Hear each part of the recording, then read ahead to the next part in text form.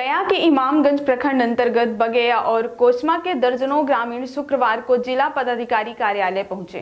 उनकी शिकायत थी कि वहाँ के दबंग डीलर के पति अपने हिस्से का खाद्यान्न मांगने पर मारपीट करते हैं और वहीं केस में फंसाने की धमकी भी देते हैं। गया संग्रहालय पहुँचने के बाद जिला आपूर्ति पदाधिकारी ने मामले की गंभीरता को समझते हुए ग्रामीणों को बुलाया और उनकी बातों को सुनकर कार्यवाही करने का आश्वासन दिया है। दरअसल यह मामला गया ज़िले के इमामगंज प्रखंड के सिद्धपुर पंचायत के ग्राम बगेया वार्ड नंबर छह और ग्राम कोसमा वार्ड नंबर सात के ग्रामीणों का है। जहाँ के डीलर मंजू देवी हैं, जिनके पति राम प्रवेश यादव पाँच किलो खाद्यान्न की जगह कम देते हैं।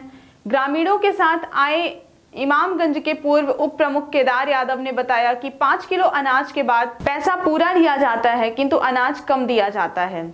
गेहूँ का सरकारी रेट दो रुपए प्रति किलो है और चार रुपए प्रति किलो की दर से डीलर द्वारा वसूली की जाती है।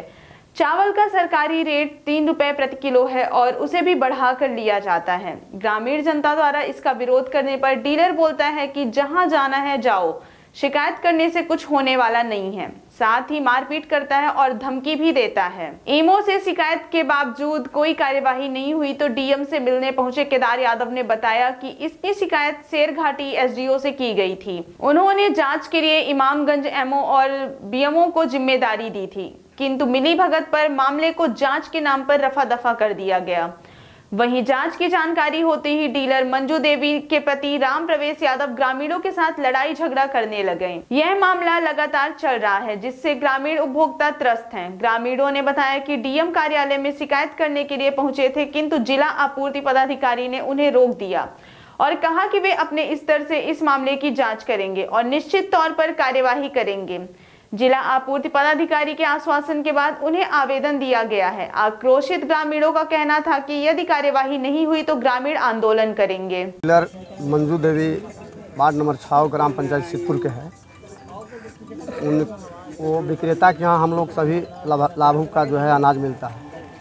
सरकार जो लॉकडाउन में, भारत सरकार जो लागू किए थे नरेंद्र मोदी जी, कि पाँच के जी मिलेगा, फ्री उस वो अनाज भी चार के जी दिया जाता है और जो पैसे के पाँच के जी था वो भी चार के जी दिया जाता है। और रेट जो है से दो रुपये है गेहूँ का सरकारी जो फिगर लगाने के बाद जो बिल आता है उसमें आता है दो रुपये और चावल तीन रुपये जो सभी को रेट चार रुपये के जी लिया जाता है। और अपने अधिकार को मांगने के लिए सही काम के लिए लाठी फरहार करते हैं।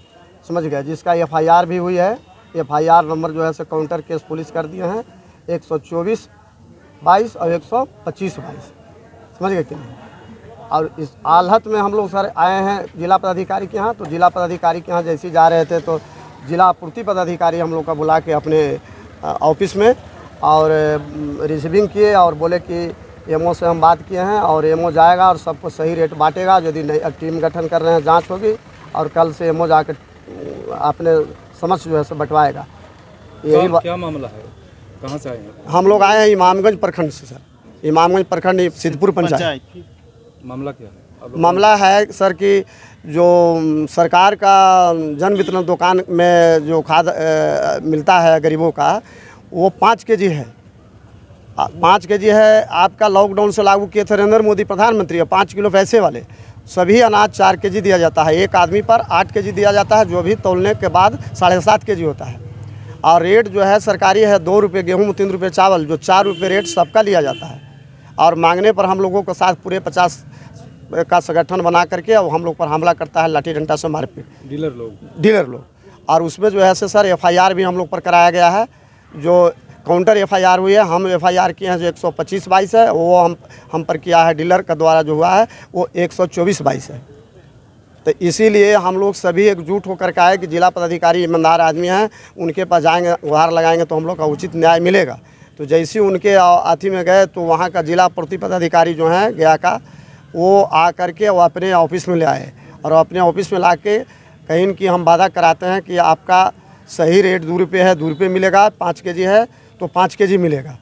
फ्री भी पाँच के जी मिलेगा एमओ नहीं सुनता है? एमओ नहीं सुनता है। एमओ का एक बार आवेदन हम लोग दिए अनुमंडल पदाधिकारी को दिए। अनुमंडल पदाधिकारी क्षेत्रीय एमओ है आपका उमेश पासवान जी। उनका और एक जो है से निधि कुमारी है, आपका डोभी का, ये दोनों का जाँच में भेजा गया था, उन लोग जाँच में गए और पहले ही से आपका डीलर को सेटिंग कर दिया था कि तू अपना आदमी रखना। और वो अपना आदमी